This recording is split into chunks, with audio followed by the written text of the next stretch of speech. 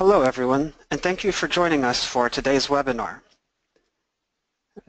Today we'll be talking about CRISPR, the genome editing technology that has been lauded as one of the most important scientific breakthroughs of this century.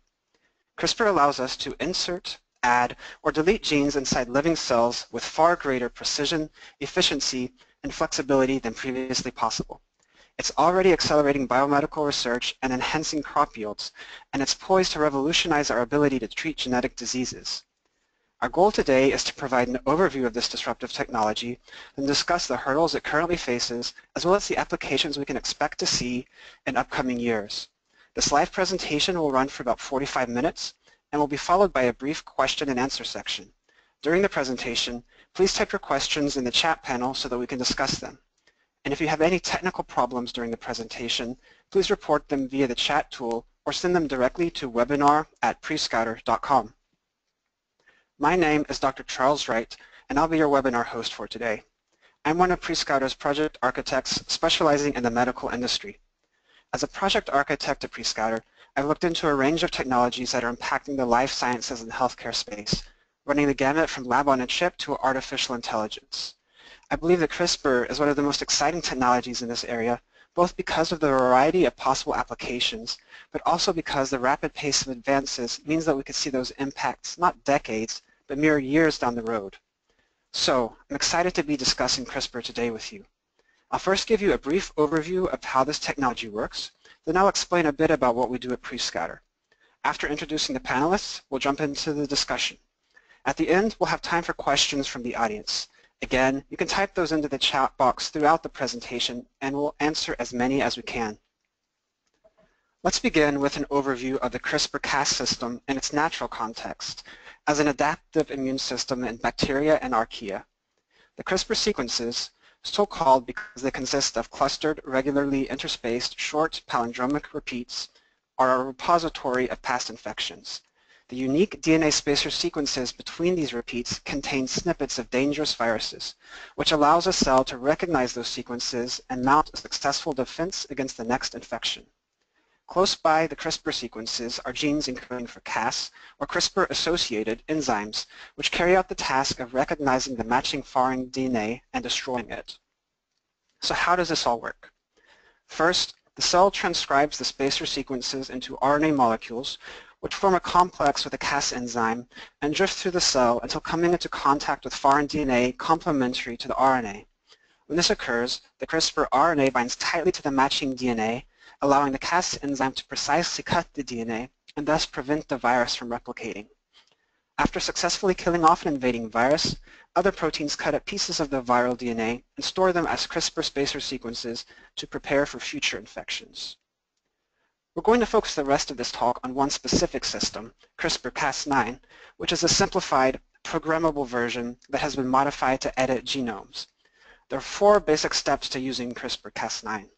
First, scientists create an sgRNA, a synthetic, single-guide RNA molecule that has everything needed to target the desired genomic DNA sequences and to complex with a Cas protein. A Cas9 nuclease in complex with the sgRNA is then delivered into the cell. Cas9 is an endonuclease that can cleave almost any DNA sequence complementary to its guide RNA. When the guide sequence binds to its matching target DNA from the cell's genome, the Cas9 enzyme cleaves the DNA at a specific location. This allows for editing or deletion of existing genes or insertion of new ones. Now let's take a look at some of the milestones in the history of CRISPR since its discovery three decades ago. In 1987, Japanese scientists came across unusual repeating sequences in the E. coli genome. In subsequent years, researchers discovered similar repeats in other species of bacteria and archaea, which were eventually given the name CRISPR. Over the next two decades, researchers worked to solve the mystery of this system. In 2007, Food scientists at Danisco studying the bacteria used to make yogurt confirmed experimentally that CRISPR is a prokaryotic immune system.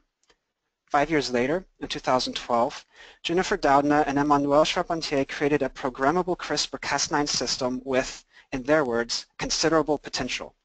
They simplified the system down to the Cas9 nuclease and a synthetic guide RNA, allowing it to precisely cut and paste pieces of DNA into a genome.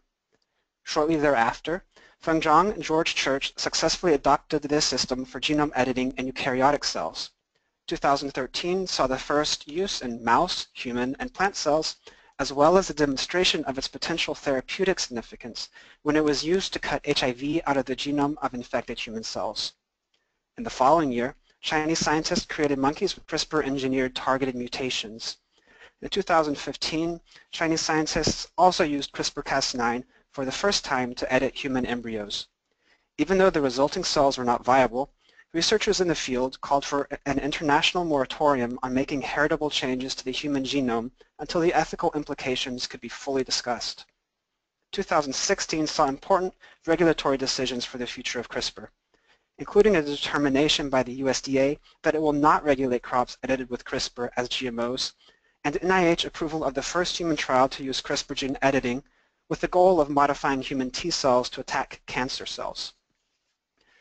This year, CRISPR has been in the news quite a bit, as a patent debate recently ended when the U.S. Patent Office determined that key patents from the Broad Institute do not interfere with patents from the University of California. And finally, the National Academies of Science and Medicine recently published a report outlining the criteria that must be met in order for clinical trials of germline editing to proceed. CRISPR could impact almost every field of biology.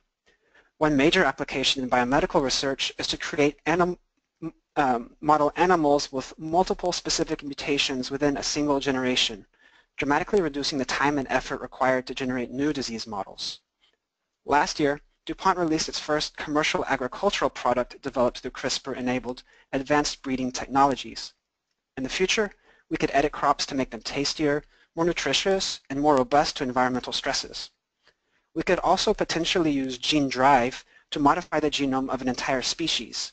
Last year, researchers reported CRISPR-Cas9 constructs that could be used to suppress mosquito populations to levels that do not support malaria transmission. In terms of therapeutics, CRISPR could be used to create a powerful new generation of drugs, including antibiotics that could target only pathogenic bacteria and to which those bacteria can't easily develop resistance, and antivirals that could specifically target viral RNA to prevent infections. Researchers have already used CRISPR to correct the sickle cell mutation in the cells that eventually turn into red blood cells, and to fix mutations in the blood stem cells of patients with a rare immunodeficiency disorder. Once applied to humans, we could use CRISPR-based therapeutics to correct the mutations responsible for a host of genetic diseases. And finally, with editing of germline cells, we could correct in a heritable manner the genes responsible for genetic disorders or potentially use this technology to select for desired traits in humans. Before we get into today's panel discussion, I'd like to briefly tell you more about Prescouter. You can think of us as your personal research assistant. As a project architect at Prescouter, I get asked questions about disruptive technologies like artificial intelligence, blockchain, and CRISPR. Prescouter helps companies like yours by providing answers to the most pressing questions. By helping solve your innovation goals, we reduce your tactical work, thus allowing you to focus on strategy. To date, we've helped over 300 clients, including GE Healthcare, BD, and Pfizer, to name a few in the healthcare and pharmaceutical space. We can simplify the Prescouter process down to three easy steps. First, you provide us your question or something you'd like to learn more about. Here we discuss criteria for the people, organizations, or technologies you want Prescouter to research.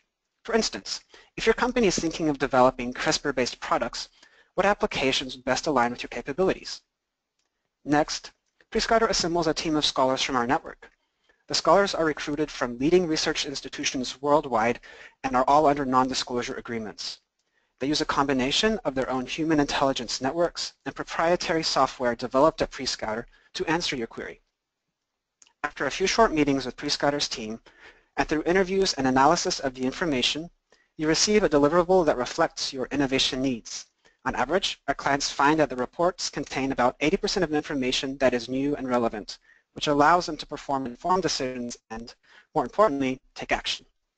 If you have any questions about how the Prescouter process operates, please feel free to email webinar at prescouter.com. And now we'll move into the panel discussion. First, I'd like to introduce you to the guest panelists. John, could you please introduce yourself? Hi, my name is John Dench. I'm an associate director here at the Broad Institute, uh, where I apply the latest technologies in functional genomics, uh, which for a while was RNA interference, or RNAi, and now is CRISPR technology uh, to understand gene function and to determine how gene dysfunction leads to human disease. Thanks, John. And Guru, could you please tell us more about you? Hi, uh, it's a pleasure to be here. My name is uh, Guru. I work at the University of Nebraska Medical Center as an associate professor in the Department of Developmental Neuroscience. My expertise is uh, genome editing. Uh, particularly, we use genome editing for developing animal models, and also we develop technologies for improving how to edit uh, animal genomes. And my model is mouse system. Uh, thanks, Guru. And finally, uh, Shui Bing, could you tell us a bit about you? Uh, my name is Shuibing Chen. Uh, my lab is interested in using CRISPR-based gene editing approach to uh, perform precise gene editing in human pluripotent stem cells, which include human embryonic stem cell and induced pluripotent stem cells. And we differentiate these cells into the cell type we're interested in and then use it to perform disease modeling. And the ultimate goal is to perform, uh, adapt this disease modeling platform to high throughput manner so that we can perform drug discovery to identify a gene or mutant specific drugs for precision therapy. Thank you, Shuibing. The broadcast is now starting. All attendees are in listen-only mode. With that, let's get into our panel discussion.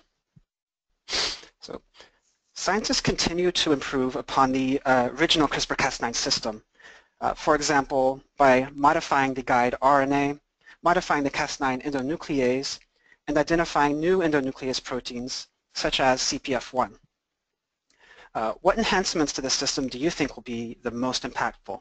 Uh, and let's start with John.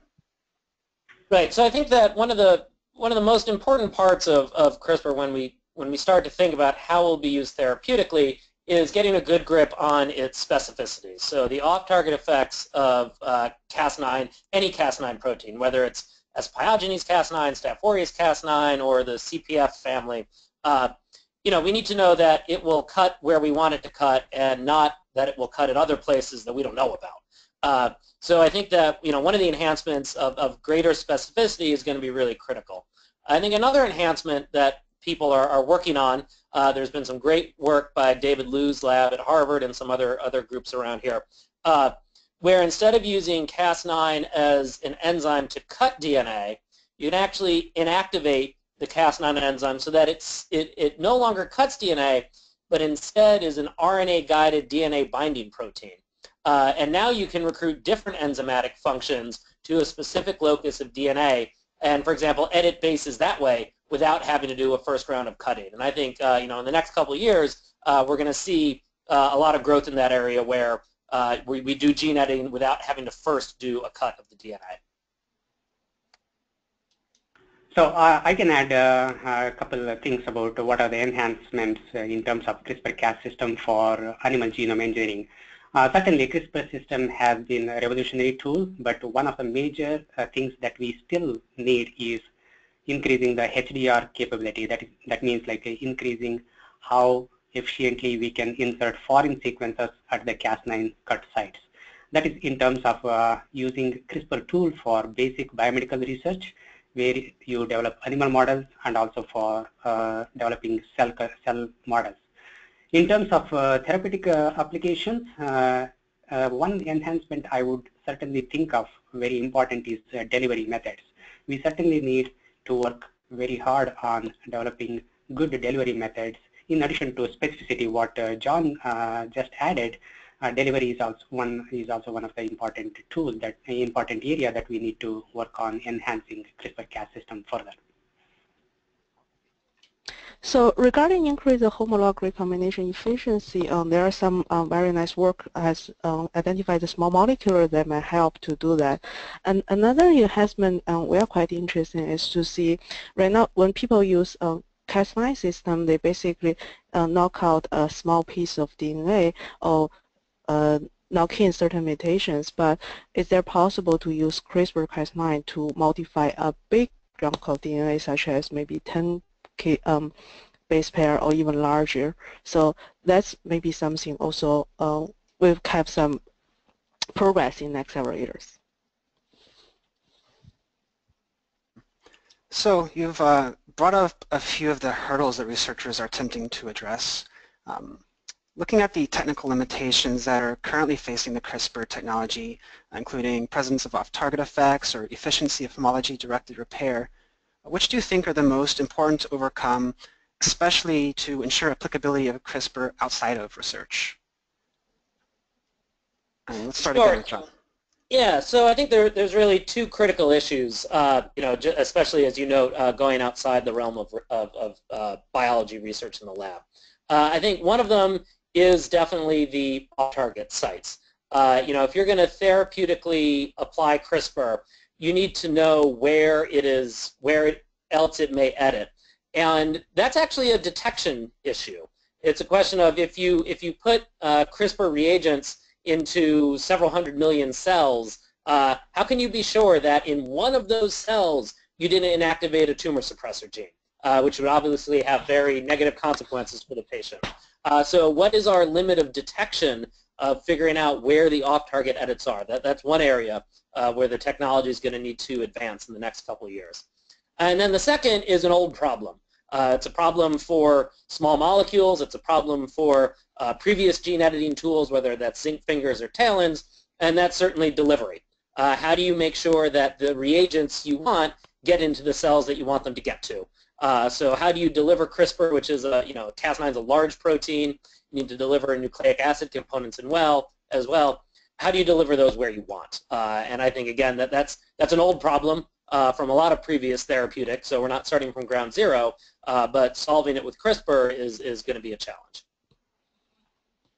So, uh, in terms of using CRISPR technology very efficiently for both the research as well as any kind of applications, one of the important challenge that in my opinion is still HDR, that is homology directed repair. So CRISPR can very, very efficiently cut at many genomic sites. You choose uh, 10 guides uh, 9 out of 10 will always work, almost always work in uh, cutting the genome. But out of those 9, how many will really be efficient in inserting the foreign sequence at the genomic cut site? Maybe, in my opinion, about one or two, uh, if you are lucky enough. So that said, it is still a major technical limitation is uh, the HDR. So uh, this, as I said uh, previously, also like this resonates for both for uh, basic research as well as for developing animal models for uh, drug discovery research or any kind of applications. So uh, in terms of mouse model generation, nearly 9 out of 10 animal models are not just complete knockouts, they definitely need to be precisely modified at the cut sites. That means the technical limitation of HDR is one of the still major challenge in terms of uh, uh, using CRISPR-Cas technology. That's in my opinion.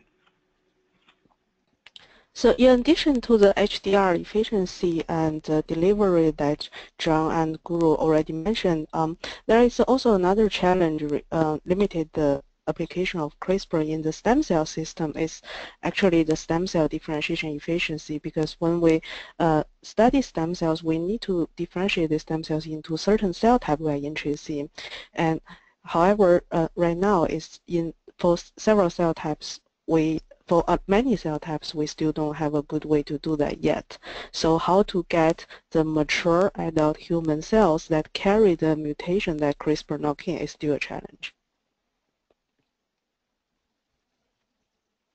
Uh, now moving on from uh, this discussion of the challenges facing CRISPR now, I want to talk about um, some of the lessons that we can learn from um, similar technologies. So the next question is for John. You've worked uh, extensively in the development and use of functional genomic techniques, uh, in particular RNAi. Uh, in your opinion, what are the lessons we can learn from the obstacles that RNAi has faced in its applications that could be applied to inform um, our prognosis of um, CRISPR moving forward? Right. So I think that it, it's very clear that the reason that we're talking about off-target effects so much from the earliest days of CRISPR technology is that that proved to be a weakness of RNAi technology, uh, that there were off-target effects, uh, which is unsurprising. I mean, uh, you know, every small molecule has an off-target effect too, right?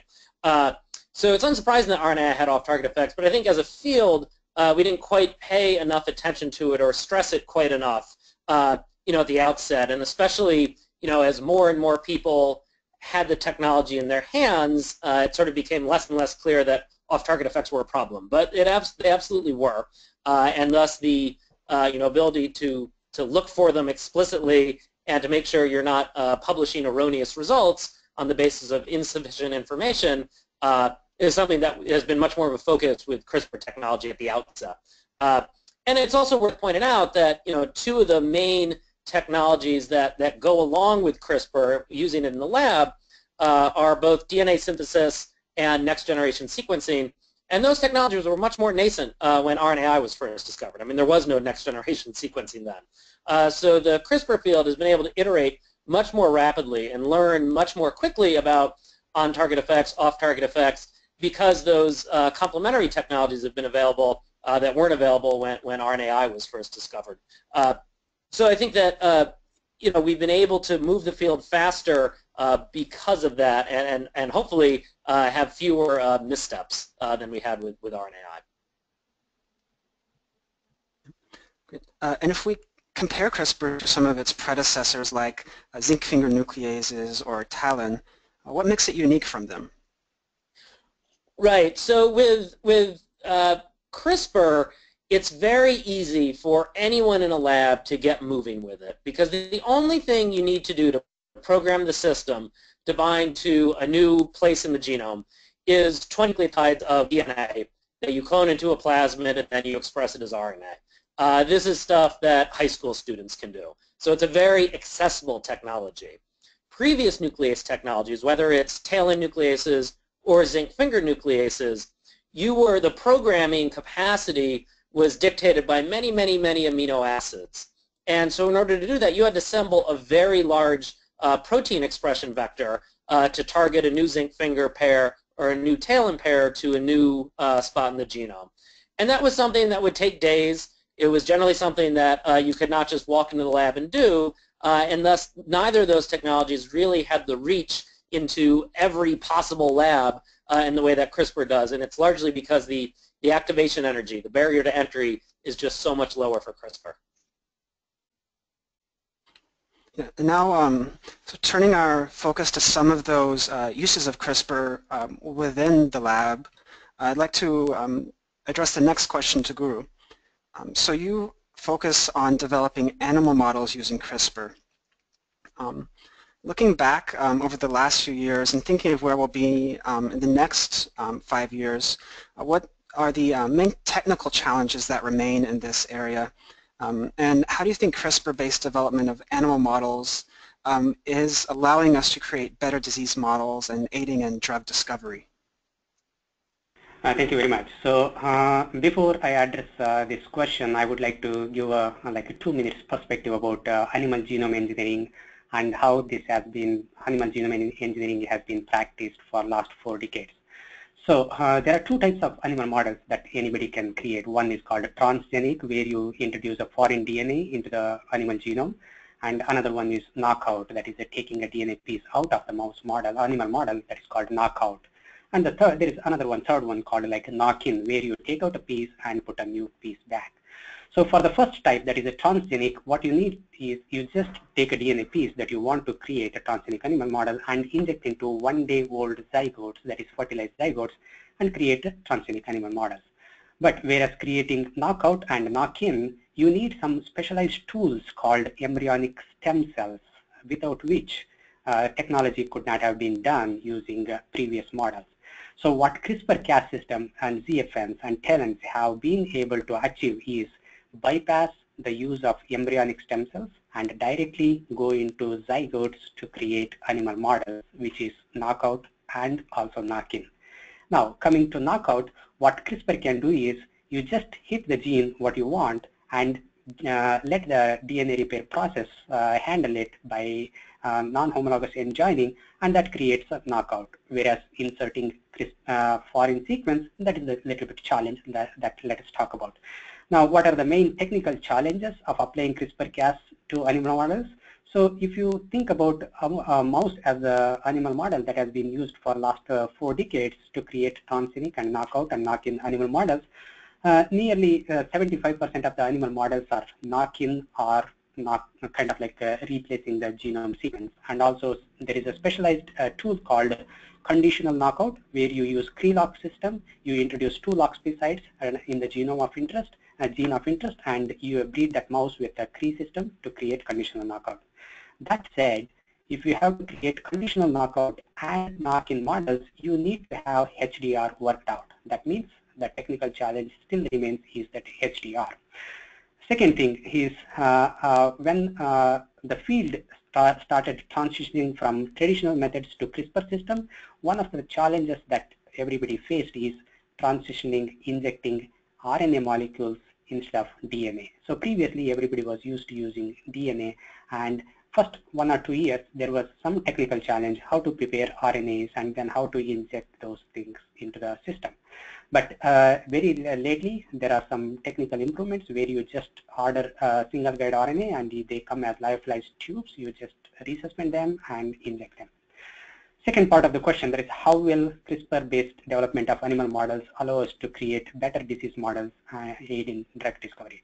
So uh, I just want to emphasize here is that like CRISPR has already uh, made a lot of uh, paradigm shifts in animal genome engineering to create better models. Number one, as I said before, you don't need embryonic stem cells.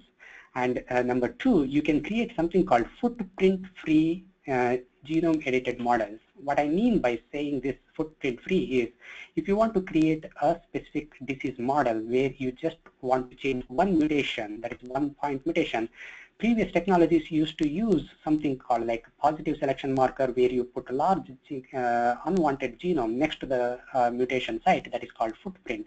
Here using CRISPR-Cas system you don't need that and then it can cleanly create animal models that you are interested in for any kind of disease model.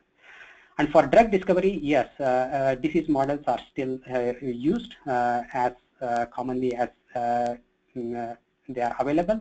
But at the same time, we need more versatile type of animal models where large chunks of uh, animal genomes have been replaced with uh, human sequence, so-called humanized animal models. That's where industry is going to go forward in the next few years to create humanized animal models with very ease and uh, on a routine basis. Thank you. Um, and so for the next question, um, I'd like to ask about um, the uses of CRISPR for pluripotent stem cells. Um, these are cells that have been genetically modified to behave like embryonic stem cells with the ability to form any adult cell type. Um, so this question is for uh, Shui-Bing. You focus uh, your research um, especially on um, translational applications with the ultimate goal of replacement therapy and drug discovery. How can CRISPR aid in this area of research, and what are the translational or therapeutic use cases that you foresee? So um, if you can move to next slide, I have a, a summary, brief introduction about the human pluripotent stem cells. So there are two, um, as Charles has mentioned, is a, a, cell type that is, are capable to, in theory, contribute to all type of cells in the human body. And another characteristic of pluripotent stem cells, is they are capable to self-renew or unlimitedly self-renew. So in that scenario, it's catch a lot of attention because we think, uh, it's believed that pluripotent stem cell can be used as a resource to contribute to um, different type of uh, human cells that we can use for disease modeling or drug discovery. Next slide, please. And CRISPR as has been used as a very powerful um, tool in stem cell study, both as a research tool and therapeutic tools. Regarding the research tool here, I just list two uh, examples. One is to create reporter lines. When we study human pluripotent stem cell, although they are able to differentiate into different type of cells, but we have uh, the efficiency to generate different type of cell are not 100%. So if we want to use it uh, therapeutically applicable, we will need an approach that we can identify the cell we are deriving and enrich the cells we are deriving.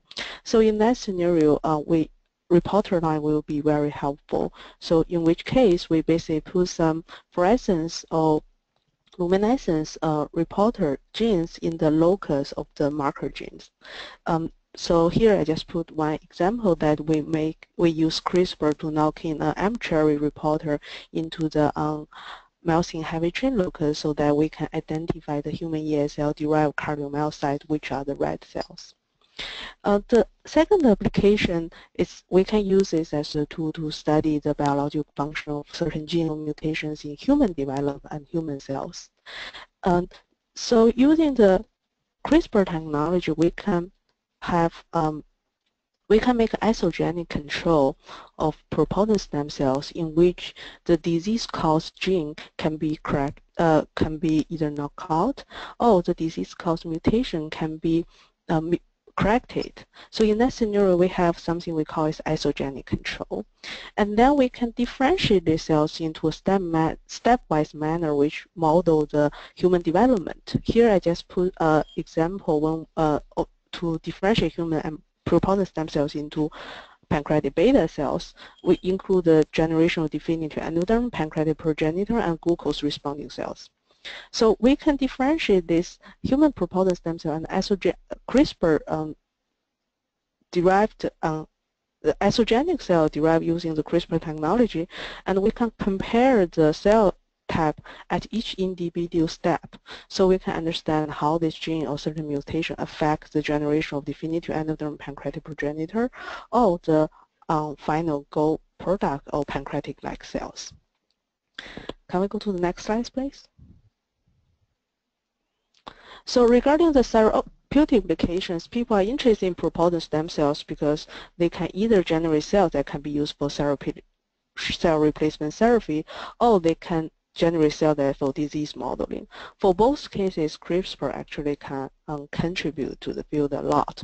For example, if we first derive, we use reprogramming to derive patient-specific human pluripotent stem cells. At this stage, the cells still carry the disease-caused mutations. And people can use CRISPR-based um, uh, gene editing technology to perform gene correction, and we can um, generate the pluripotent stem cell um, with the corrected gene, and so then differentiate these cells to generate the tissue or organs and then put it back into the human body for replacement therapy.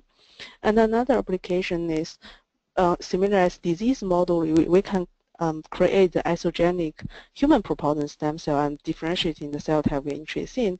And then we can, uh, so the, these patient-specific cells can uh, show some cellular defects. Since we have the isogenic control that we know the cellular defect is due to that particular gene uh, knockout or particular mutations. So then we can adapt it to the high throughput screening platform and screen either FDA approved drug or the drug in the clinical trial so that we can identify the drugs that can rescue this gene or uh, mutation specific defects then we can design it for the precision therapy. And uh, for these uh, applications that you've mentioned, uh, what are the major hurdles um, currently facing us um, towards achieving those? So it's one major hurdle is still how to get a very highly efficient uh, homolog recombination so that we can uh, e efficiently get gene corrected clone or isogenic clone that we can use for either replacement therapy or disease modeling. And the second question is how can we have a way so that we can efficiently differentiate the pluripotent stem cell in the cell type we're interested in. Great, thank you. Mm. So uh, when we speak about such an exciting technology as CRISPR, uh, we inevitably come across a lot of hype particularly with respect to the uh, potential practical applications. So in addition to the technical challenges that we've already discussed, there are many regulatory and ethical considerations. Um, for some applications like gene drives and designer babies, there's still considerable debate about whether to even pursue them. So um, the question for the full panel is, uh, when you look at the claims that are being made today, ranging from those agricultural enhancements to therapeutic applications, um, what do you think are the greatest challenges um, still facing us towards achieving them? Um, we can uh, start with John again. Right. So I think, unsurprisingly, uh, there's a lot of people out there who want people to click on their website, and so they write stories about, oh, how designer babies are coming, and you know, we start to get into some very uh, impractical and, you know, in my mind, kind of pointless discussions over uh, over things like that. You know, we're not we're not going to have designer babies soon. We're probably not going to have designer babies ever. Uh, making babies the old-fashioned way is pretty darn fun, and that's how the 7 billion people on planet Earth are going to continue to make babies going forward. Uh, you know, I, I, think that, that, that talk of that sort, it's, you know, it's something that you, you talk about at the Thanksgiving table with Aunt Muriel uh, because you got to talk about something, but it's not something that, you know, any scientist is really, uh, you know, is their driving goal in life. Now, there are there certainly some circumstances uh, where doing gene editing, uh, you know, on, on pre-implantation embryos or something like that would be beneficial. Yes, there are some, some very small corner cases. Uh, but the idea that this is, uh, this is a technology that's going to sweep the, sweep the nation, yeah, that's not going to happen. Uh, and I think the, the reason for that um, you know, ignoring the, the ethics and the morality of it for just a second. But the reason for that is that CRISPR therapy, whether for design babies or for curing disease, uh, it's very invasive.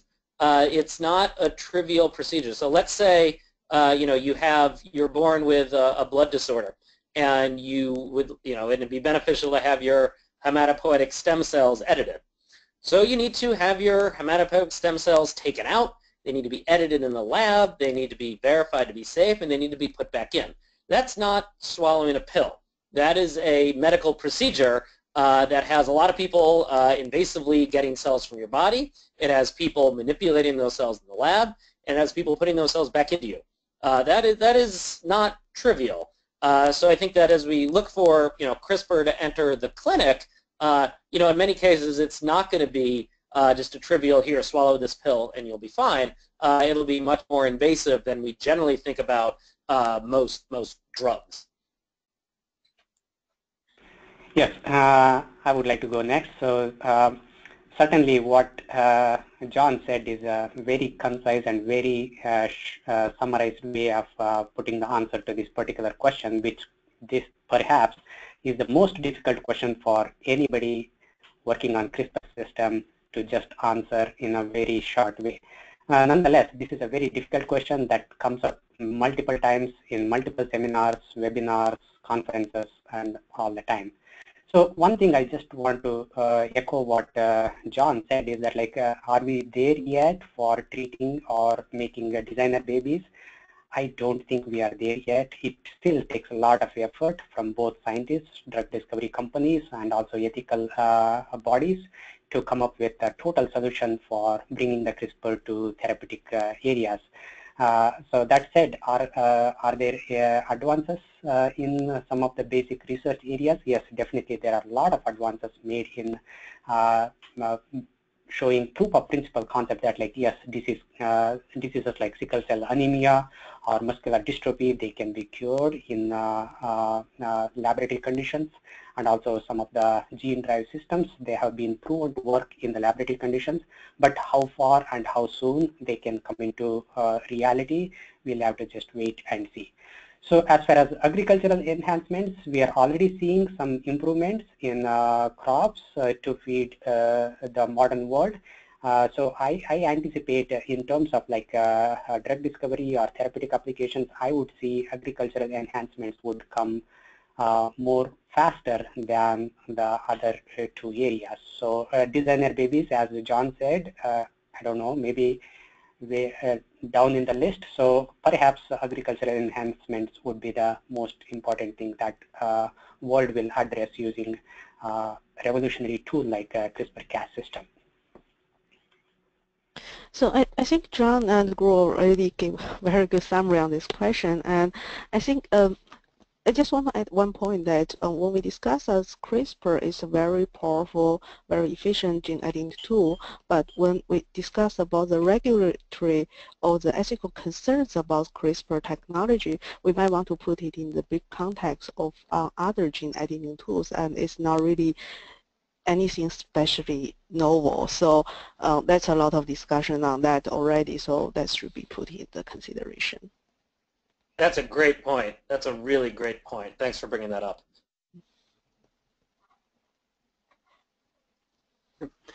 Uh, now moving um, into some of the um, applications for CRISPR that we can expect to see. What are you most excited about coming up in the next few years and looking much further down the road, what about the next decade or two? What do you think is the most um, um, exciting potential applications that we'll see with CRISPR. let's start so, again with John.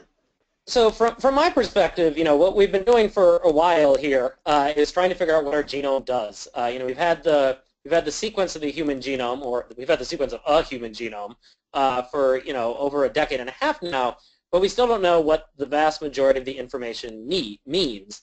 Uh, and you know, so first we tried to figure it out with RNAi, and that's a limited technology. So the more uh, the more technologies we have in the tool belt to try to understand the information that our genome is telling us, uh, you know, that, that, that to me is the most exciting part of, of CRISPR technology in the coming years. Uh, because, you know, we, we have uh, we have so many genes and we have so many cell types and we don't know what most genes are doing in most cell types uh, and we certainly don't know how, uh, for, for the vast majority of genes, we don't know how gene dysfunction leads to disease. Uh, and we don't know how to interpret, uh, you know, the, the day where everyone has their genome sequenced is not that far away, because uh, technically that's quite possible. Uh, but what we don't have is, is really any idea of how to interpret uh, all but the most obvious things. So I think that the ability of CRISPR technology to allow us to manipulate genomes in the lab, in model organisms, and really start to uh, make predictions uh, about what individual variants are doing in, in humans and have really uh, personalized genomic medicine, uh, I think that's, that's going to be a very exciting uh, part application of CRISPR technology over the coming uh, years and decades. So in terms of developing animal models and also engineering different genomes, what I would think is that like a CRISPR is already made a lot of paradigm shifts, but one of the area that still echoes is uh, HDR, that is for creating uh, precise animal models with foreign sequence insertions. One example here is like a CRELOC system, which I told you in the uh, earlier uh, uh, answer, is that like most of the mouse models that are created, nearly 90% of them are conditional knockout, where you have to insert two loxP sites that area has been suffering quite a lot during the last four years, especially with CRISPR system. And a lot of people are putting a lot of emphasis on trying to develop CRISPR system to develop conditional knockout animal models. That said, there are only about 25% of the entire mouse genome has been converted into conditional knockouts during the last three decades. So everybody thought that CRISPR would help uh, complete that remaining 75% very fast, but unfortunately that has not happened. So next few years, I'm sure uh, people will put a lot of emphasis on uh, how to improve CRISPR system for developing conditional knockout animal models. So in the next uh, five to 10 years, uh, definitely yes, in improving humanized uh, CRISPR system for developing humanized animal models where several uh, hundred kilobases to megabase genomes of uh, animal models will be replaced into with human models, human, human genome. So in terms of uh, therapeutic applications, it looks like a scientific uh, um, uh, kind of thing. So where you can use the CRISPR system as a kind of like a pill just to treat any kind of disease. So which, which looks like a scientific fiction, but at this time it is very hard to say what will happen in next 20 years 20 years but it can certainly move fast uh, to the uh, level that like you just maybe 8 out of 10 diseases have answer with the CRISPR system. So that's that's what I'm anticipating. Uh, who knows uh, in 10 to 20 years what will be uh, using CRISPR for so I actually prepared a slide, so if you can move to the next one. Yeah, so uh, there's two things I think the uh, CRISPR might be applicable uh, the future direction of the CRISPR in the pluripotent stem cell field. One is uh, we can use pluripotent stem cells to, stand, to understand how this gene or certain mutation to affect human development or human cell identity or how do they induce human cell defects. And in that scenario, then we can perform drug discovery in the next several years. I perceive there will be a lot of um, gene or mutation-specific drug that can identify using this method. Uh, the second thing is uh, it's a relatively new concept and I believe it's also a very interesting direction to pursue is to perform this kind of isogenic iPSL-based genome-wide association study. You know, in the last decades, people perform a lot of genome-wide association study. They use human populations, which is actually um, complicated by the heterogeneity of the human population. And when people study the regular gen genome-wide association study, they need kind of several thousand or 10,000 patients. Uh, when they study gene more complicated disease, when they study gene environmental interaction, they need even larger number of populations, so which is very expensive and technical challenging. So with the help of this CRISPR technology, we can create um, we can create the isogenic iPSL library through a, goes by a very high throughput manner. So then we can differentiate shade these cells into the cell type we're interested in. And in the Petri dish, basically we can tightly control the environments and we can tightly control the readout what uh, or another way is our definition of the defect of the disease. So in that scenario, we can use relatively small population and perform like a GWAS study in the uh, in the disease model. So that also can help to uh, understand how these different genetic factors contribute to the disease.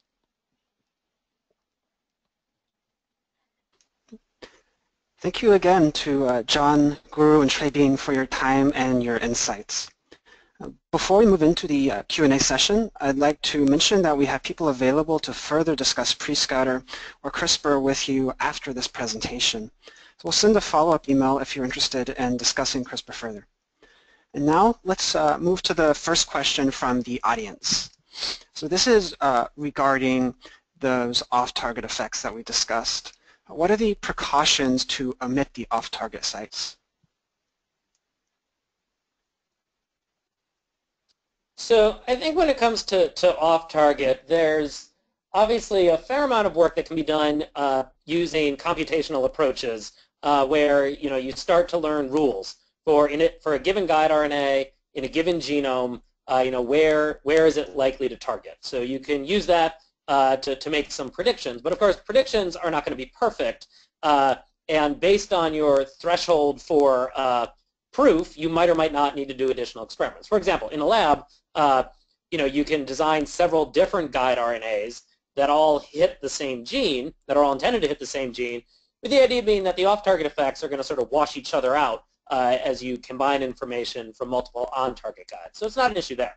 Uh, but it certainly is an issue as you think about therapeutic gene editing.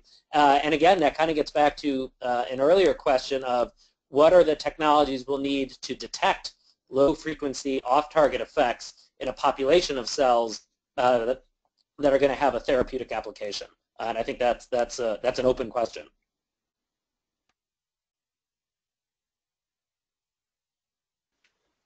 So uh, thank you.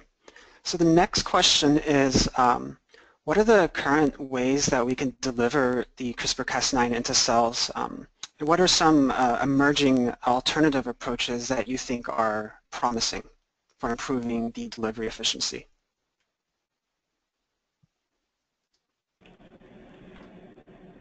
John, do you want to go? Uh, actually, why don't you go first, more your area. Yeah, so yeah, in terms of uh, animal models, like uh, we do microinjection, where we uh, just take the CRISPR-Cas system, whether it is uh, RNA or protein or two separate RNAs and the donor DNA and directly inject. So whereas delivering into cells, yes, certainly they need uh, more different kind of uh, platforms. The earlier mod, uh, models worked with uh, like delivering the plasmid DNA that transfect where you have a single plasmid that expresses both Cas9 and the guide RNA. And if you want to deliver donor DNA, you co-transfect with the donor plasmid or, uh, or uh, the oligonucleotide. So uh, very recently, like there are some uh, uh, newer developments. You don't have to use a plasmid. You just use a Cas9 protein and also single guide RNA that can be commercially synthesized. You just mix those two and your donor DNA, if it is a plasmid or a, uh, oligonucleotide, you just cocktail all these things together and do the delivery using either uh, simple transfection or also using uh, electroporation. So I believe like uh, for embryonic stem cells and uh, pluripotent stem cells, uh, which Shuibing can add more information into this, they are they are becoming more popular, especially with the ribonucleoprotein and electroporation comp components both together. Yeah, so for human pluripotent stem cells, uh, if we just simply want to knock out a gene, we usually just use lentivirus or virus-based delivery of um, Cas9 system. And if we want to do um, single nucleotide mutation involve the subcloning, so in that scenario, we most time use electroporation so that um, the Cas9 will be only transiently expressed, so we don't worry too much about the incorporation into the genome system. Thank you. Um, the next question uh, is regarding um, the point that was brought up about creating libraries of CRISPR-modified cells for drug discovery. Um, there was a question about um, if, if, you could talk a little bit um, more about um, what that would look like. uh, and Shrabin, could you take this question? Yeah, so uh, for example, what we, uh, for this field, we, we people originally start from some um, mutation that's caused uh, a fetal defect or congenital defect. So in that scenario, using the what people do is if we uh, for example, for, from previous study that we know certain gene or certain mutations that can involve in um, beta cell development or cardio development or neuron development. And then we knock in or knock, knock out this gene or knock in this mutation in the human pluripotent stem cell and differentiate into the cell, uh, corresponding cell types and compare to the uh, wild type and mutant cells to see what's the difference. And now in in this year and in last year and this year, kind of the field move to the more um, broad concept because the, the genome mutations related with congenital defect are pretty limited and their contribution to the human disease is also not um, not as broad as um, other mutations. So now kind of the field move to study how this uh, genome-wide association study identify gene, what the function of these genes are, or what the function of these mutations contribute the disease. So in that scenario, it's got a little bit uh, more complicated because uh, for certain mutations, for certain genes we are studying, we might not expect to see the cellular defect directly in the culture dish. So in that scenario, we might want to um, add some environmental stimulations to see the cellular defect. For example, uh, our recent study on the type 2 diabetes, we find that if we just knock out uh, uh, type 2 diabetes associated gene, they can differentiate into pancreatic beta cells without any major defect. However, if you challenge them with a high glucose condition, which kind of mimic the glucose toxicity in type 2 diabetes patient, the cells cannot handle this glucose toxicity very well. So in that scenario, the cell can uh, this kind of study can be adapted to a, a high throughput screening platform. So uh, we screen uh, around 2,000 compounds, which include FDA-approved drug and also drug in the clinical trials, so we can run a drug repurposing study. So that's basically um, how we perform the screening. Great, thank you. Mm -hmm. um, the next question um, is about um, designing primers. So do you have any um, special recommendations for the most promising tools for designing primers, um, in particular um, for the case of plants and agriculture?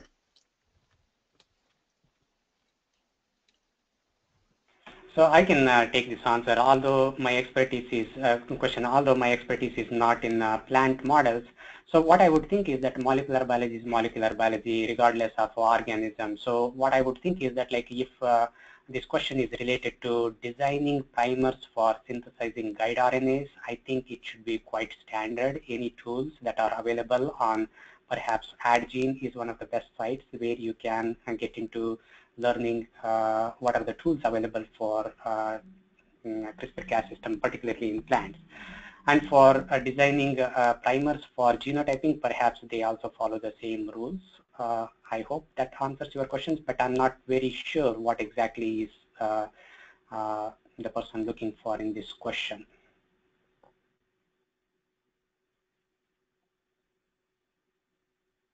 Uh, thank you, Guru. Uh, the next question uh, is uh, going back to next generation sequencing, um, which um, John brought up at the beginning of the discussion. Um, so could you elaborate on the role that NGS has played uh, research using CRISPR um, and moving forward to agricultural or therapeutic applications, um, how could NGS be leveraged? Yeah, so I'll, I'll start with that. So I think that, uh, you know, that there's been a real trend in, in biology for the last uh, 10 years or so where if you could take your question of interest and turn it into a sequencing-based question.